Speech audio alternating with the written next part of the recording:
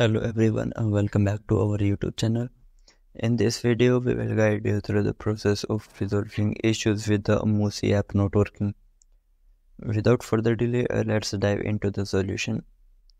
First solution is uh, force close and restart the Musi app. To begin open your phone setting and navigate to the app manager.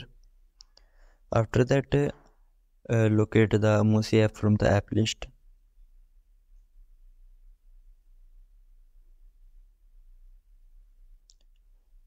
and then tap on it and select a force stop from the bottom right corner.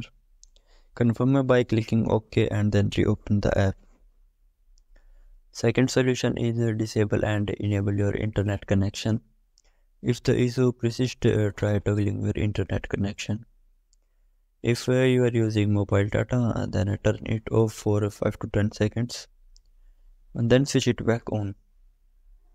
For Wi-Fi users, uh, turn off Wi-Fi for the same durations and uh, then turn it uh, back on. Alternatively, activate aeroplane mode for 4 to 5 seconds and then turn it off and check if the issue resolves. Third solution is update Musi app to the latest version.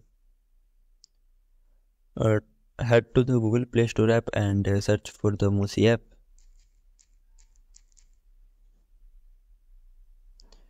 And then uh, select the app.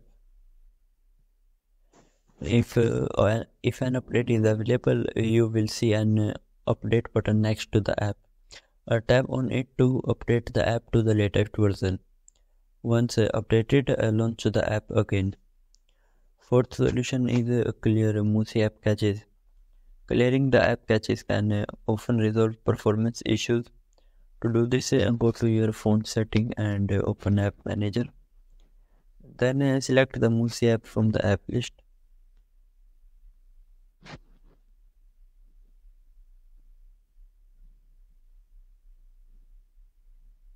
After that, uh, tap on storage and caches. Uh, finally, uh, click on uh, clear caches to clear the app caches. Fifth solution is uninstall and reinstall the app.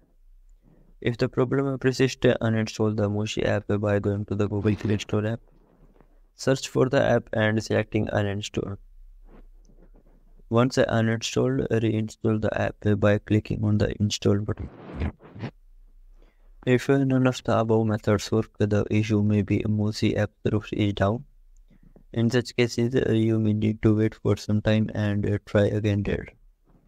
Thank you for watching our video and we hope this solution helped resolve the Musi app issues for you.